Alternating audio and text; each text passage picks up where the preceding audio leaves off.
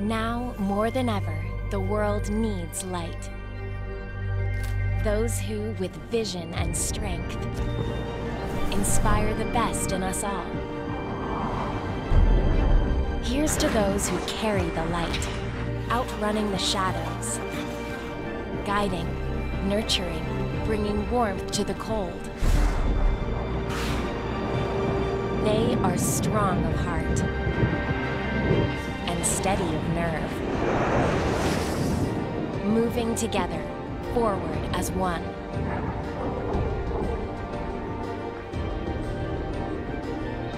Who, with fearless grace, push faster, further, higher, to achieve dreams beyond boundaries.